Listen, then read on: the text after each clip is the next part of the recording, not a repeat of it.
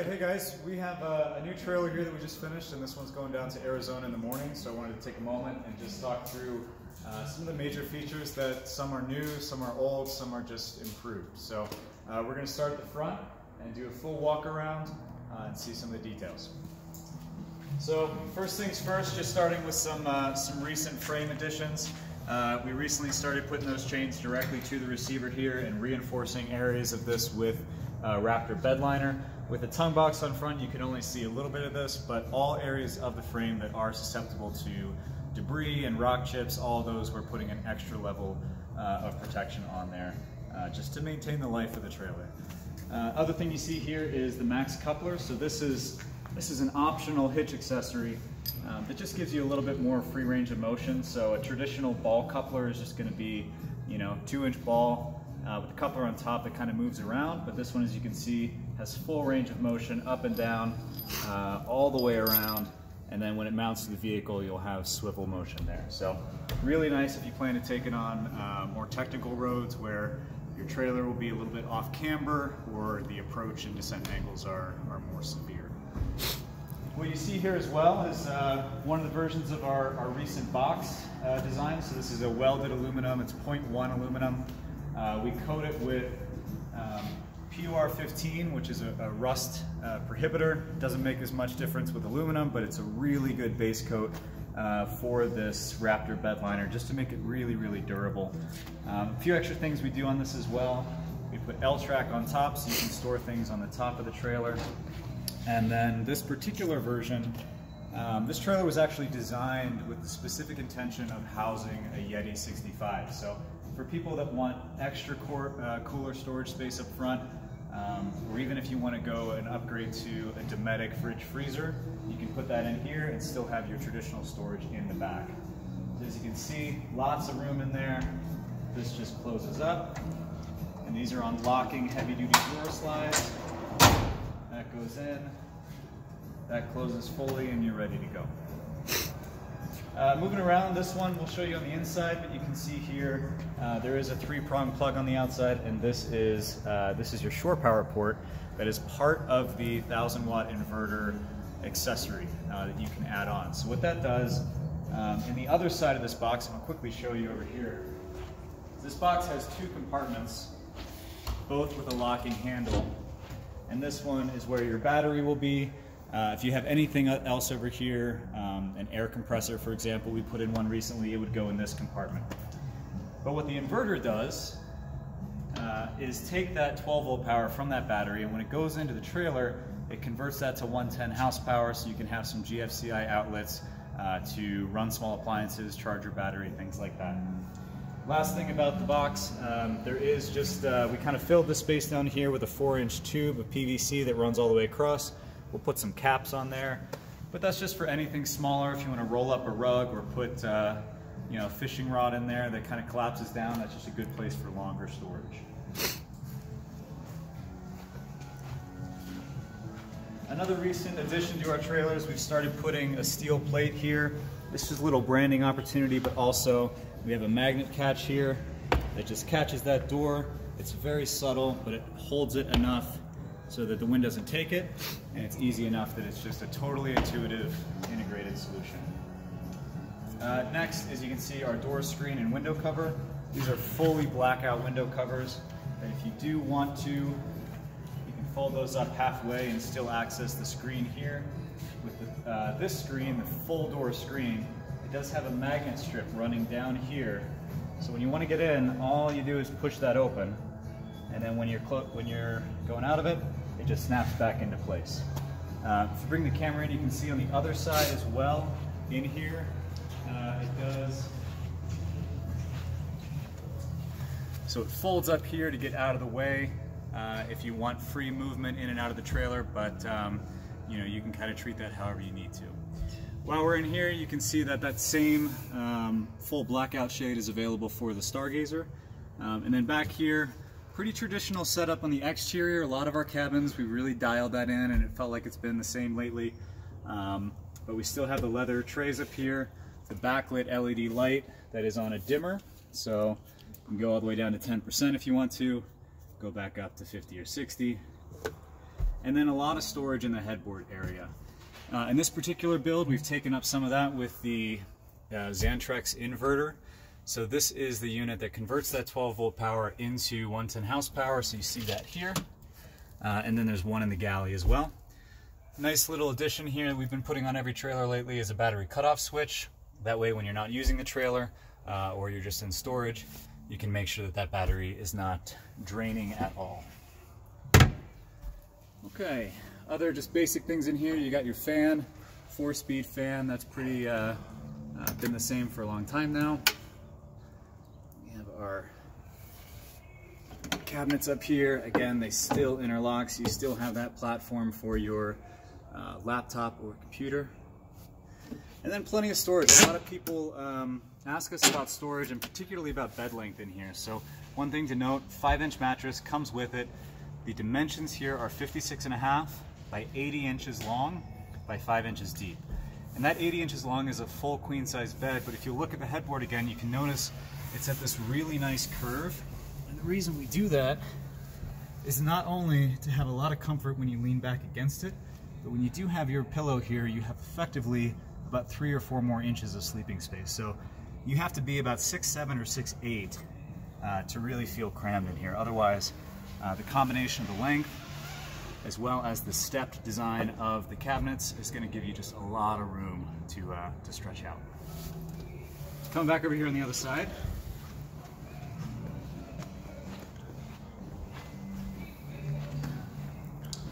Uh, so a few details down here. You can see the table is set up. Uh, I'll tell you how that kind of came to be in a second once we get to the galley.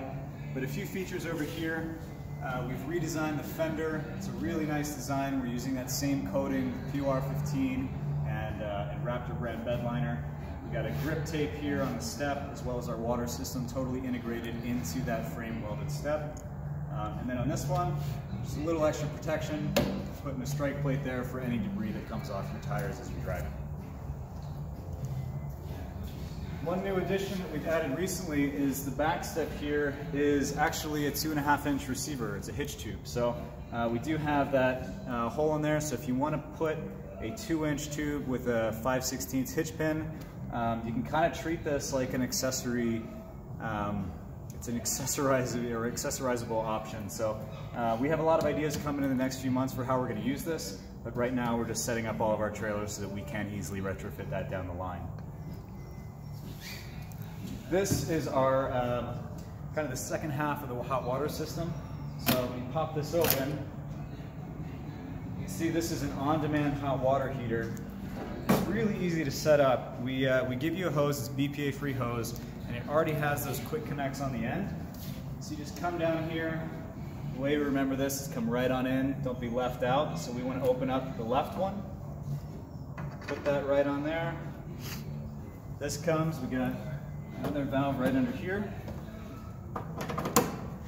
And then when you turn on your water system, there's a pump underneath that pushes that water out from here into the on-demand hot water heater.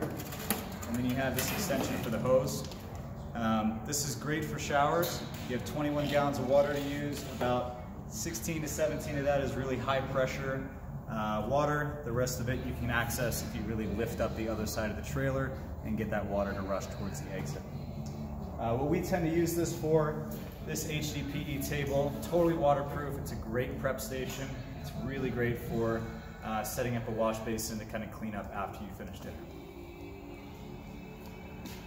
On this one, we actually have two propane tanks. This is the standard placement for it. Uh, it's a two and a half gallon tank. This will last most customers an entire season before you have to fill it again. Um, this particular build does have another propane tank on the other side. Okay, so now we're in the galley. Um, pretty traditional galley setup as far as we have the hatch, we have uh, LED lighting here. This is the, the cooler placement that comes on every trailer. The Yeti does come with it.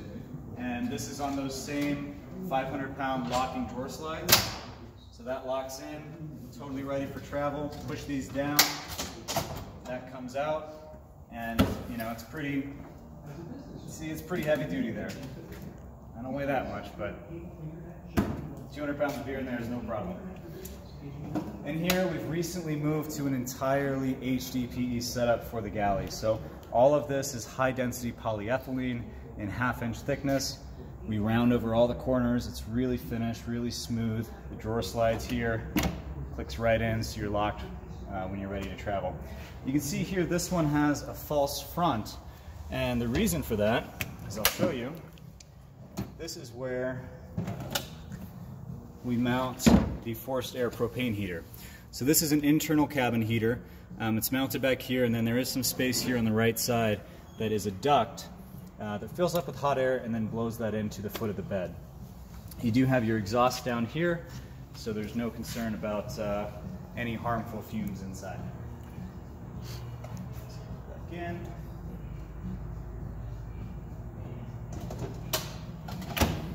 Okay. Uh, other things here. New stove as of 2020. Uh, this is an 8,000 BTU burner on the, the, the, right and a 6,500 on the left. Um, totally stainless steel construction.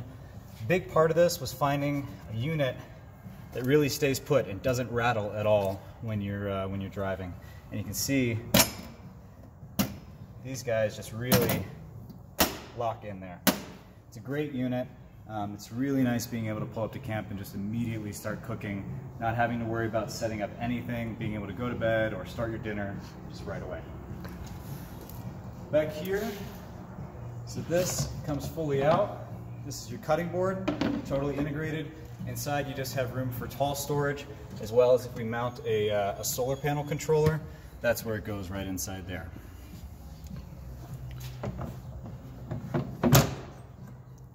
Right, so this is the table when it's installed in the galley, so it locks everything in while you're traveling. Um, you can see this is the adjustable leg, and I'll show you how that sets up. You basically just flip that, flip those tabs, comes right out of there.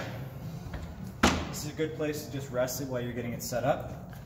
And all you do is pull this knob off, loosen these a little bit, pull that out. This uh, gusset comes in, you tighten those, Comes with a carabiner and the carabiner just locks here. So you're fully set up. And then when you're ready to use it, it just kind of goes in like so. So now you got a pretty stable table there. Uh, the traditional placement for this is on the passenger side of the trailer. Uh, because I mentioned earlier this has a propane tank there, this we mounted at the end of the cooler tray and actually provides a really nice um, space to eat, still have access to your cooler. And then if you want to actually cook a lot, you can kind of keep this open. This can be, you know, a certain area for prep, and then you can have a lot more prep here. So uh, this may be something we do more of in the future. It's kind of a nice addition, it's a nice placement. When you're done with it, pretty simple, just pop that out, do everything in reverse. That out, closes, loosen, loosen. That comes down. Put that on. And now you're secure for travel again. Um, last few things on this side. So this is actually our, uh, our custom-made solar panel. It's molded to be the curve of our trailer. Um, so it's a really nice addition. As you can see, it does have 15 feet of extension as well. So it's not only charging when you're traveling to your campsite, but once you get there, you can easily lift it off. It weighs almost nothing and set it up 10 to 15 feet off of your trailer.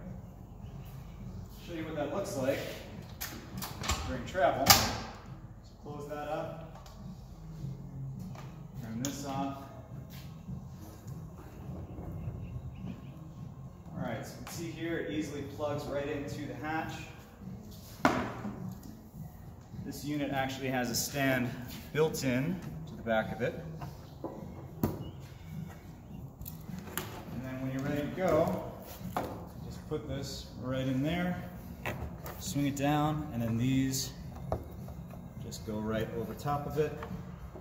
You're set up for travel, and they've even included a lock here, so your solar panel is protected.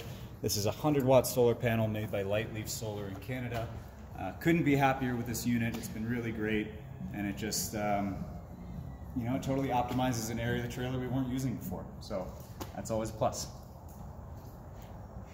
Last few things here. Uh, this is our 2.5 meter awning. So uh, the awning and the roof rack does come with the trailer, um, but this is an extended version. So it's like $20 more to get more space. As you can see, it's almost a, a full living room size in here. So it's pretty generous.